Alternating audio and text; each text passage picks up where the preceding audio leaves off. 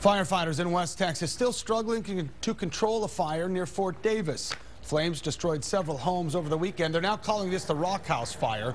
It's burned more than 108,000 acres while destroying 23 homes and two businesses. High winds grounded firefighters and the helicopters for a little while. Now they are back in the air. The fire is still not contained. It is one of 10 active fires in Texas. And right now, Governor Rick Perry is touring the areas damaged by the fire. We'll have more on his trip on KXAN Austin News at 6.